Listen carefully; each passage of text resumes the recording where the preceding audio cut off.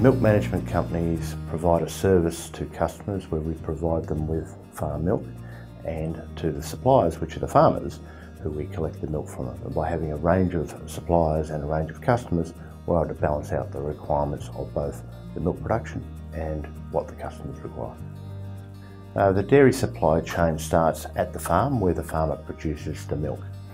That milk is then uh, picked up from the farm and taken to a factory where generally the milk is further processed into dairy products, whether packaged or further processed, cheese or yogurt.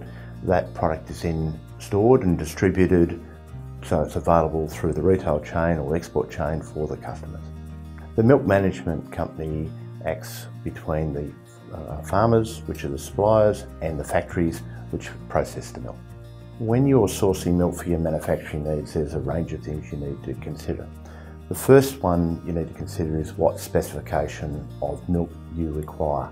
So is it actually raw milk that would come from farm or is it a processed milk that might come from a manufacturing environment or do you actually even consider a dry goods like a, a skim milk powder or a whole milk powder?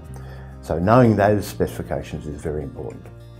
You should also consider what is the quantity that you require and when you require it because this may be driven by your demand for the product or it may be driven by how much product you can get and what you're going to be processing it into. The other things that you might consider are the logistics of getting the milk to you, um, when you need it and how much you need it. Raw milk is carted in tankers, so the minimum size that you would probably need to order is 25,000 litres of milk. So that might be a problem that you need to consider.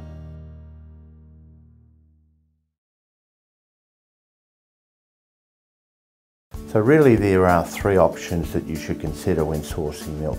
These are direct off farm, so picking up farm milk, through a milk management company who will arrange the milk delivery for you, or talking to a large processor about buying milk directly off them. Sourcing milk direct off farm is where you have a relationship directly with the farmers who produce the milk. The farmers who produce milk must be licensed and they have a, a regulated requirement so that they are a, a, a, licensed production site. But you need to be able to contact and deal directly with them and make an arrangement which suits them and you. So therefore there's constraints on both sides. One of the advantages of direct off farm is that relationship you have with the farmer, which might be of advantage to you and them in the provenance claims that you might be able to make, the quality claims about how the milk is produced, and that direct connection between the producer of the milk and your dairy products. The disadvantages of buying direct from farm are the complexities of arranging your dairy production requirements and the production requirements that are coming from the farmer. Agricultural production is generally based on seasonal influences, so there might be a mismatch between what you require and what can be produced.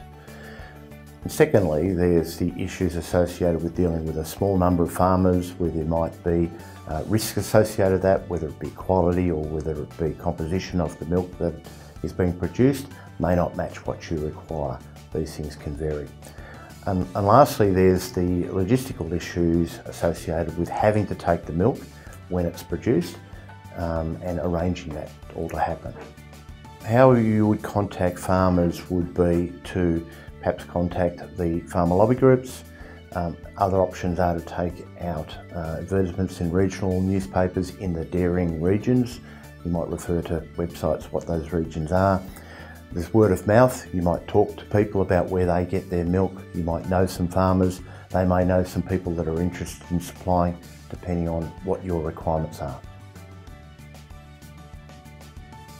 The second option for sourcing milk is to deal with a milk management company. The advantages of sourcing milk from a milk management company is that they will work with you to ensure that your requirements are met. They will ensure that, that you get what you need when you need it and that it does meet with all of your requirements.